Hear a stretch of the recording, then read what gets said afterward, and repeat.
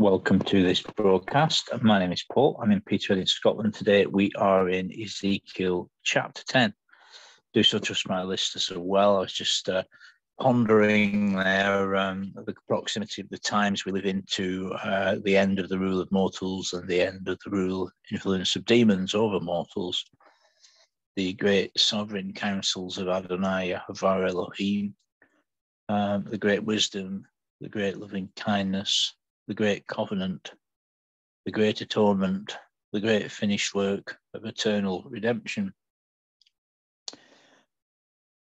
I was just pondering how uh, mortals, it is said of when uh, Jonah, and there's an entire series of podcasts on this channel covering the whole book of Jonah, when Jonah fled from his call and uh, eventually went to Nineveh, Nineveh, um, in Syria, which was a ginormous city, but then again, by today's standards, I suppose it wasn't. it was certainly a very large city even then.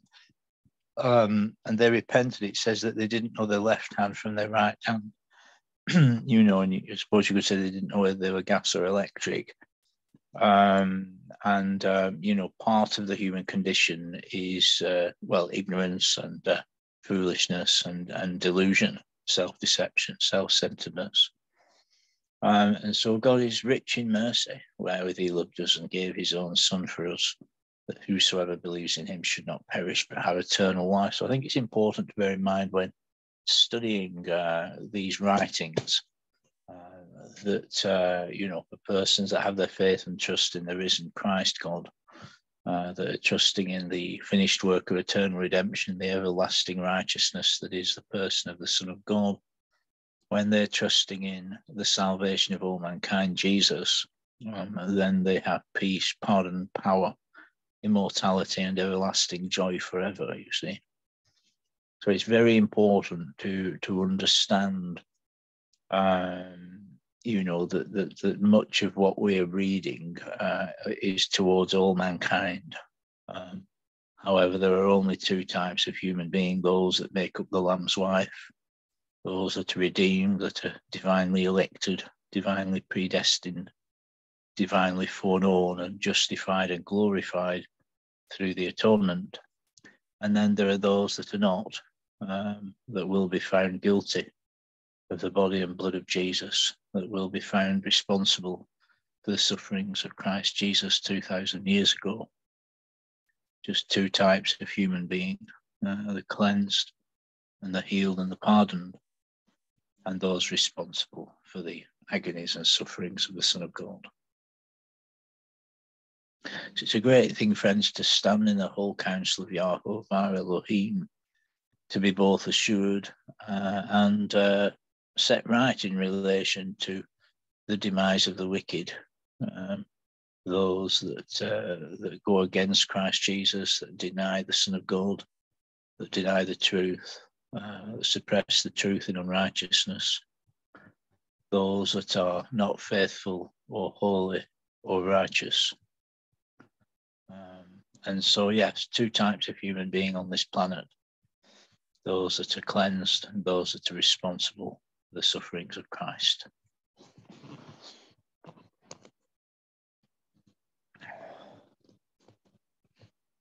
So today, friends, we are in Ezekiel chapter 10.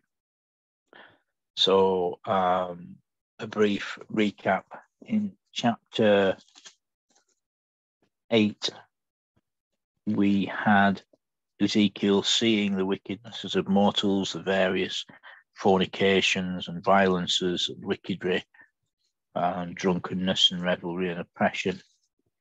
Um, in chapter 9, we have the Lord Jesus uh, writing the, the sign of the cross upon the foreheads of those that sighed and wept for the abominations of mankind, those that entered into the feelings of God, the heart of God, the mind of God, um, those that uh, had intercessory feeling into such matters. That was a sign of their election, that they were compassionate and, and thoughtful. Um, and of course, the Lord Jesus, the man clothed in linen, with the writers inkhorn by his side.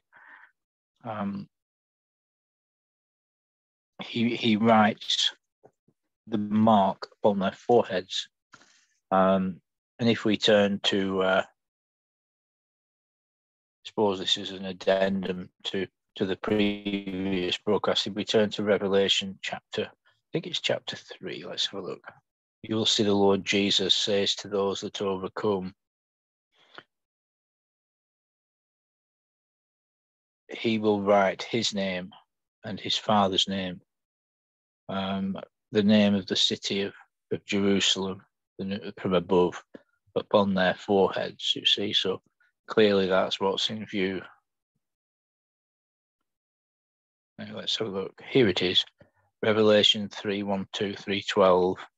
He that overcomes, him will I make a pillar in the temple of my God and he shall go no more at all out. And I will write upon him the name of my God and the name of the city of my God, the New Jerusalem, which comes down out of heaven from my God and my new name. So I would suggest that the ethos is those that are not under the influence of the doomed, deluded devils, but rather the under the influence of the Holy Spirit, the influence of God, and thereby have spiritual insight and understanding into the heart and mind of God concerning sin and iniquity.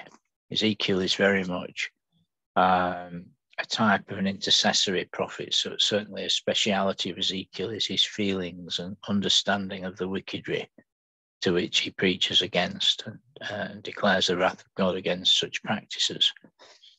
Um, and he he, he, he, of course, is a type of Christ, and yet in these visions, he sees the man clothed in linen, who is assuredly the Son of God, the Lord Jesus. Um, you know, writing the election.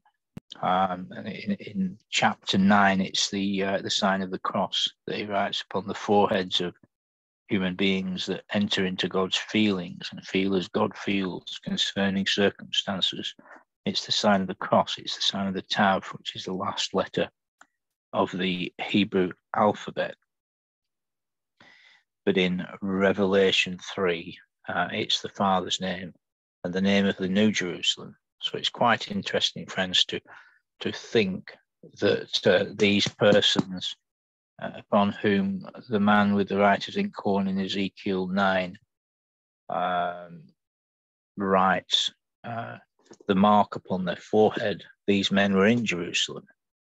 In Revelation 3, it's, it's the name of the New Jerusalem that's written upon their forehead. Um, and then, of course, at the end of chapter 9, you have the feelings of Ezekiel concerning the sorrows of the mortals that are under wrath and death and destruction upon them. Um, because the land is full of perverseness the land is full of blood. Well, that's violence, wickedry of all types, you see. You think of all types of wickedry, friends. You think of, for example, uh, the fact that everyone in Britain is paying five or six times what they should be for gas and electricity at the present time, sheer wickedness. The fact that everyone's paying five or six times for petrol and diesel what they should be, sheer wickedness the fact that the government's trying to stop people using uh, petrol or diesel cars when electric cars are a hideous uh, delusion, you know. Uh, and uh, not to get sidetracked, but it's perverseness. That's what it is. Uh, the whole electric vehicle thing is just a shambolic, wretched delusion. Uh, and, uh, you know, other perverseness is government manipulation. We see, for example, little children taught desperately wicked things in schools. They're taught that masturbation and uh, sodomy, uh, males with males working out, which is unseemly, is normal and okay.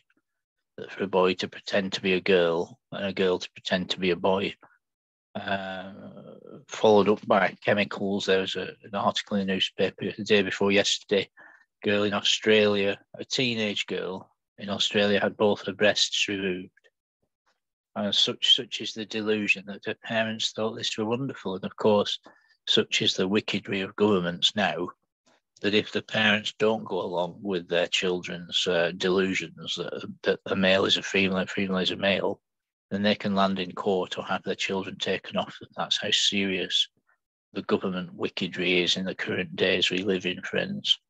Of course, there's been many teachers and many social services persons sacked because they everyone who works for the governments, whether and that's a lot of people, friends, for any of my listeners that are not in the know concerning how governments and countries work.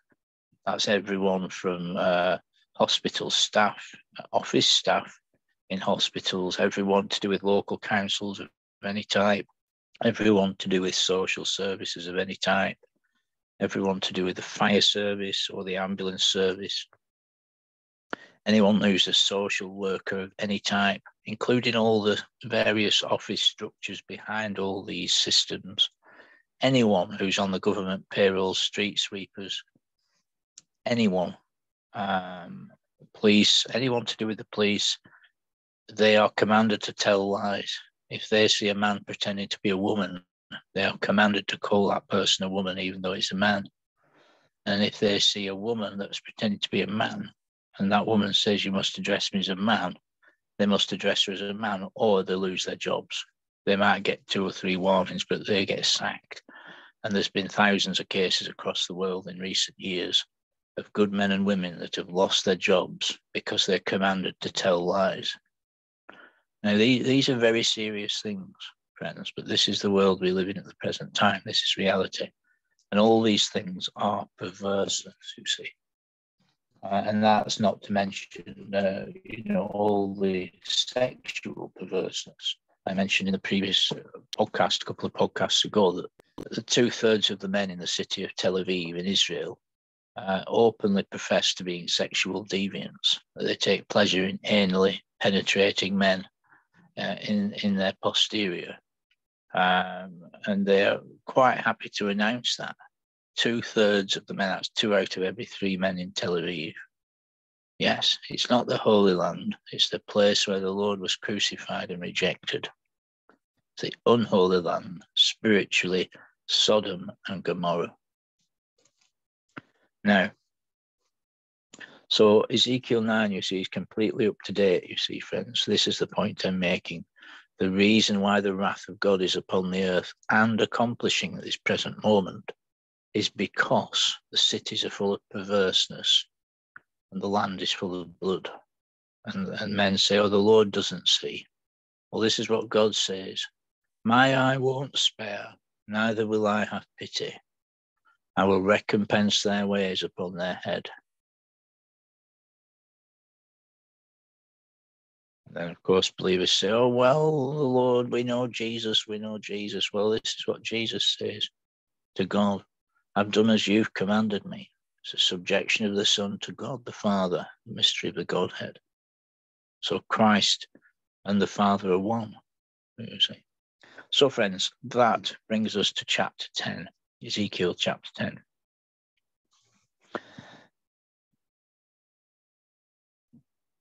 And I looked, and behold, in the expanse that was over the head of the cherubim, there appeared above them, as it were, a sapphire stone as the appearance of the likeness of a throne.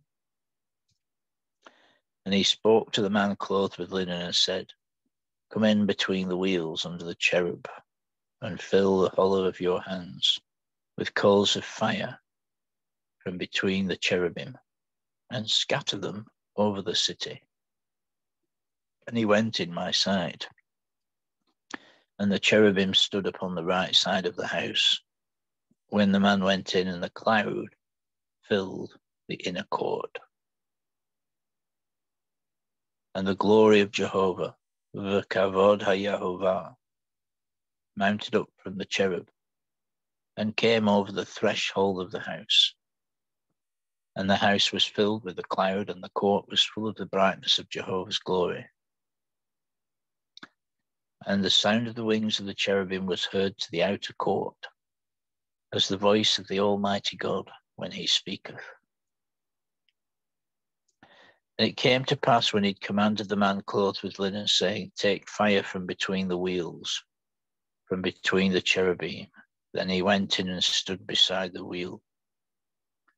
And the cherub stretched forth his hand from between the cherubim, under the fire that was between the cherubim, and took and put it into the hands of him that was clothed with linen who took it and went out. And there appeared in the cherubim the form of a man's hand under their wings. And I looked, and behold, four wheels beside the cherubim, one wheel beside one cherub, and another wheel beside another cherub. And the appearance of the wheels was as the look of a chrysolite stone. And as for their appearance, they four had one likeness, as if a wheel were in the midst of a wheel. When they went, they went upon their four sides. They turned not as they went, but to the place whither the head looked, they followed it. They turned not as they went, and their whole body, and their backs, and their hands, and their wings, and the wheels were full of eyes round about. In them four, and their wheels. As for the wheels, they were called in my hearing Galgal. Every one had four faces the first face was the face of a cherub, and the second face the face of a man, and the third the face of a lion, and the fourth the face of an eagle.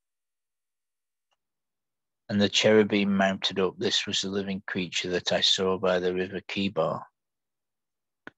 And when the cherubim went, the wheels went beside them. And when the cherubim lifted up their wings to mount up from the earth, the same wheels also turned not from besides them.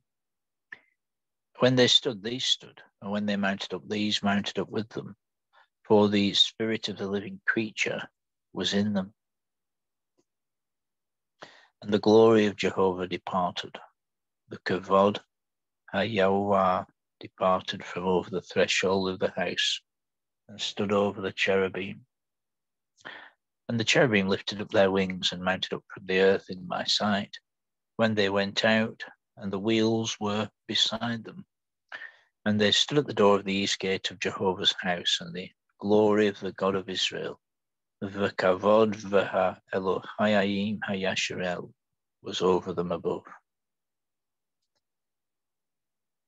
This is the living creature that I saw under the Elohayim hayasharel, the God of Israel, by the river Chebar. And I knew they were cherubim. Each one had four faces and every one four wings, and the likeness of the hands of a man was under their wings. And as for the likeness of their faces, they were the faces which I had seen by the river Chebar. Their appearance and themselves, they went every one straight before them.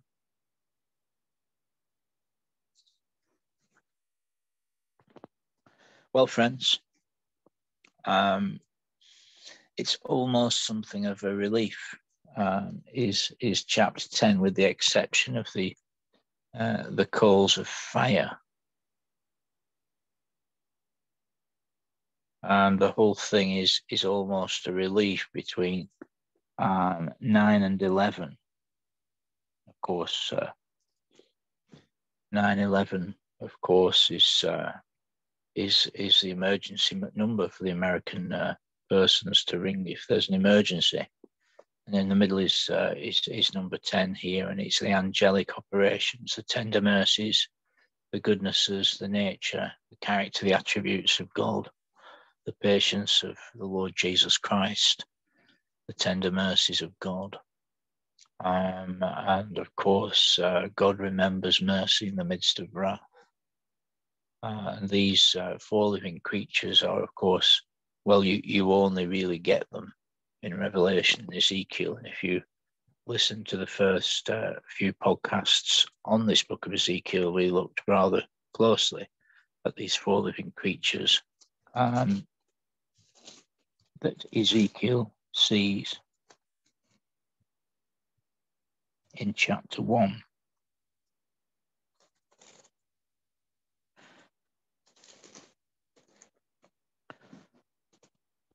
And here they are again, and it has to do with the nature, character, attributes, and heart and mind of God in operation upon the earth. So it's almost like the angelic operations, the cherubim, the living creatures, the wings, and the hand of God underneath the wings of the angels. It's a great thing to think of the sovereignty of God, friends. Well, we'll be back soon with another broadcast. Stay strong, uh, persevere, endure, stay the course, trust the process, friends. The steps of a good person are ordered by Yahovah. Uh, many other thoughts in a man's heart, but the counsel of Yahovah Elohim that doth stand.